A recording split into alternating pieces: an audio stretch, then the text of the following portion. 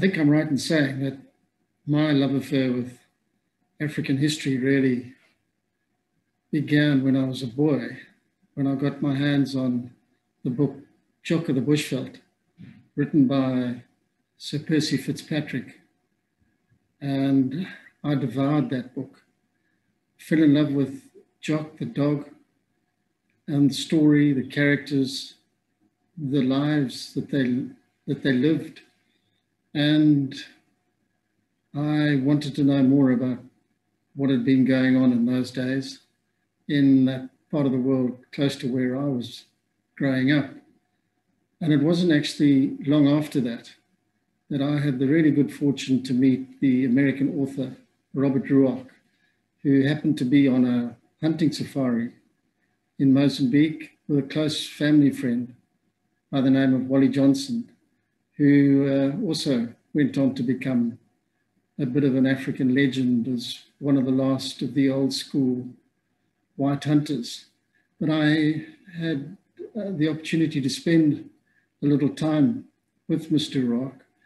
And although I was young, he captivated me and um, very kindly took a little bit of in, an interest in me. Um, and subsequently, I read virtually everything he wrote, and particularly enjoyed his books on, on Kenya, um, Something of Value, and Uhuru, which are, I think are two of the best books ever written about Africa.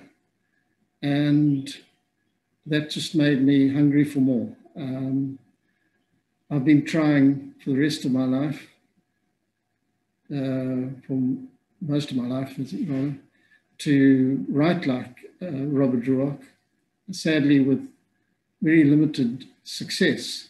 But he certainly inspired me in, in many, many ways. And, and almost in, when I look back on it, he, he shaped my life.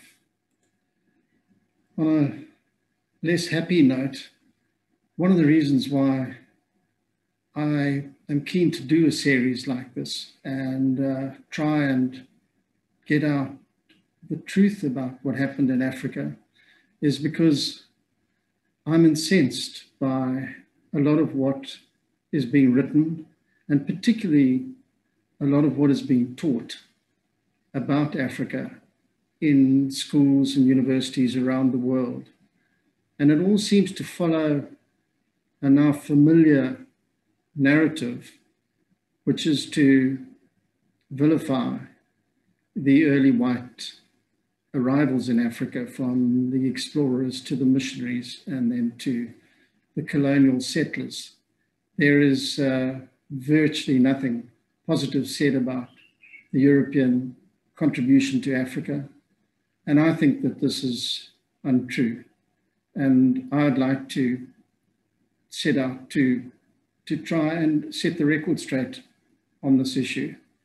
I, I feel particularly sorry, actually, for the younger generations going to school and later some to university and having to be subjected to this, what I think is nothing less than propaganda. And it all seems induced, um, all seems aimed at inducing a sense of guilt in the younger generations. And I actually think this is a form of mental cruelty. These uh, children are being saddled with a guilt burden that they absolutely don't deserve. Whatever did or did not happen is not their doing, and why they should have to hang their heads in shame for the alleged sins of their ancestors is, to my mind, nonsensical.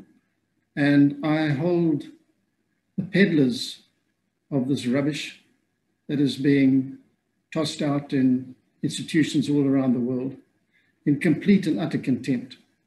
And if I can do a little bit to set the record straight and maybe bring a little bit of relief to the minds of some people who've been subjected to this false narrative, then I feel I might have achieved something.